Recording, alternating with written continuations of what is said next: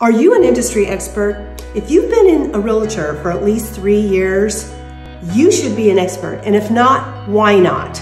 As an expert, you should know what is really happening in the real estate market.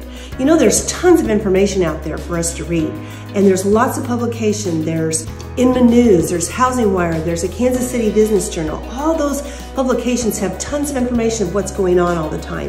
And as an expert, you should be constantly training. You should be knowing how to negotiate deals, how to handle difficult situations, and you should be able to guide a buyer and seller as to how to get their best deal.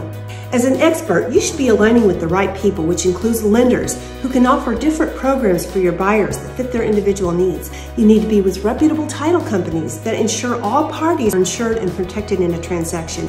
Vendors that can advise you and perform repairs if needed to resolve inspection items when you're doing a deal. So let me ask you again, are you an industry expert? And if not, what are you waiting for?